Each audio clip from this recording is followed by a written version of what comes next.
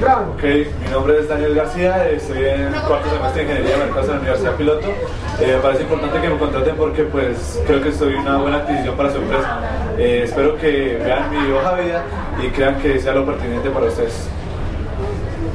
Además de eso, ¿por qué quiere tener la, la energía y la chispa que Spray necesita? Pues porque la verdad refresca y la verdad no tengo más palabras para decir, soy un hombre de pocas palabras. Ok, corta.